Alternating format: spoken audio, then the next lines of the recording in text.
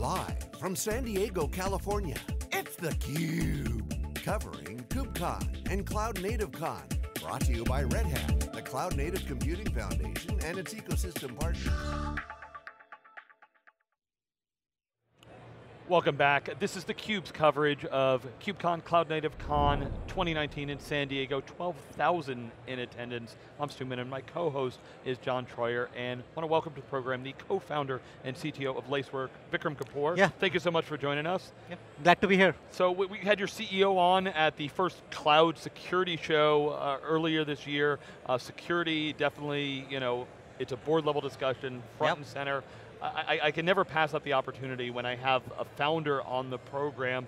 Just, just step us back for a second, kind of the, the why of Lacework. Yeah, yeah. So I think if you look at the cloud ecosystem and Kubernetes now with containers, it's very clear that it requires like a new kind of way to look at security. Like all the traditional security tools for the data center were really built for like, you know, based on network. And then since, like, you know, and as we move to the cloud, you know, it's very hard to take a hardware box to the cloud, you know, even with the virtual, you know, boxes, it's really not that clean and, and a good architecture. So what we found was that, you know, you really need a new way to think about it. And we think about it as really a big data problem.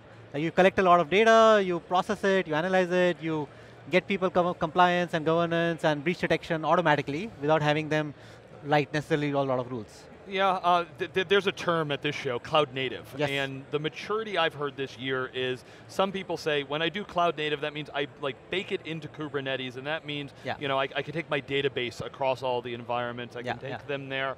Does that line up with how we should think about cloud security, or is it, is it more, a Yeah. little bit different than that? So actually, it, it, it's a little bit different than that. And the reason being that, so if you do all that, the, what cloud native typically would also bring with itself would be things like your VMs and containers are not long running, they're short running. Eh, Like in my old, in the old world, like I've been developing for 20 years, I knew the IP address of my database, and it didn't change, and I knew the port number. But now if you ask me on cloud native environments, where is my database? Like, I don't know. There are five instances running and they're here and there. So there's a lot of elasticity, dynamic stuff that comes along with a network layer is not relevant at all to like what the applications are doing. So you need to get into the application layer and therefore security becomes a little bit different in that environment. So it's kind of, you know, the fact that I can run like 1,000 containers for Node.js in like an instance, which Kubernetes allows me to do that, also means that you know I have no idea where they're running and what the IPs are, and I don't do security on IP. I do it on Node.js. Like that's really what it is. So with Lacework though, you're, you're really monitoring this, uh, Yeah. it's a platform, it's watching in real time, all this data is coming in, so it's both analyzing the history and it's got Yeah. the stuff coming in. So you have a multiple layers. I mean, we're here, uh, we're here at KubeCon, Yeah. Kubernetes is kind of the engine of what's going Yeah. on, but there are other layers going on here. There's, Yeah. there's all the application code and the pods, there's, uh, there's the cloud underneath, uh, Yeah. and you all support you know, different public clouds and on-prem and things like that. Yeah. Can you talk a little bit about maybe what's some of the patterns of things you are Yeah. dealing with with all those different layers in those environments? Yeah, so I think it's actually a very relevant question. Like, if you kind of think about like, you know, Kubernetes, you know, and as you said, like nothing really runs in isolation, right? Con Kubernetes has to use containers at some level. It has to run in either, even if it's managed, it's running in some VM somewhere. And the VM is basically either cloud native on VMware or it's hosted on some AWS cloud account. And that cloud account probably has an API access to you to be able to set these things up or unset them if an attacker gets access to that. So we kind of think of security as comprehensively doing across the board, like starting from like, you know, build environments to run environments where before a developer does a build, you want to do vulnerability analysis and make sure you're not building something with known problems in there. So you fix them as you go. Once you deploy them, you need to look at like cloud configuration and you know buckets are not open or security groups are not you know incorrect. And then beyond that, you actually really need a breach detection system, which kind of tells you when something does go wrong. And that can't be you know just inside Kubernetes or just containers. You kind of have to go look at every layer because you know I've seen it personally. Like you know as an you know when I look at some of the attacks, like when an attacker gets into one layer, he'll move into any layer he wants. Like there is really no way to say I'll isolate him in this layer only. So you have to kind of protect everything and you have to do breach detection across the board. Yeah, I, I- remember, I feel like it was a couple of years ago, there was a security uh, issue inside of Kubernetes. Yeah. The community freaked out a little bit, but you know, it ended up moving past that. What are really kind of those security risks inside Kubernetes? And where does where does Lacework fit, fit into that discussion? Yeah, so I think it's really around like, you know, thinking like, you know, not Kubernetes as an isolated platform, but actually part of the tech stack and the ecosystem and looking at it holistically across it. So fundamentally, some of the security concepts haven't changed. You need to make sure you don't leave doors open, right? So if I have a door open on my uh, you know, API level, well, it doesn't really matter if I close it on Kubernetes, it's going to get exploited.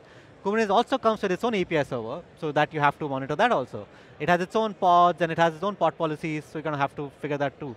So fundamentally, I think at some level it boils down to making sure you kind of work with the like security team and DevOps team need to work together to make sure they, before they deploy it, it's kind of architected the right way.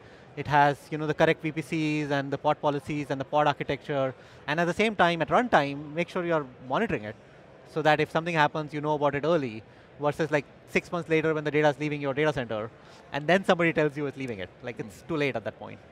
With, Yeah. with your customers then, you're still seeing a, a role for the, the security team Yeah. in the enterprise as well as the DevOps team Yeah. better not be, uh, better be coordinated and with, a, with a platform Yeah. uh, like Lacework. Can you maybe talk a little Yeah. bit about the enterprise situation and I, I'm guessing as, versus a startup, uh, there's a lot more, there's, a- there's a few other requirements that are coming Actually, to the table. we see that a, a lot across our customers. Like, fundamentally, DevOps and security really have to be on the same page because at the end of the day, like you know, the way the cloud happened and the Kubernetes happened, it's a very API-centric world.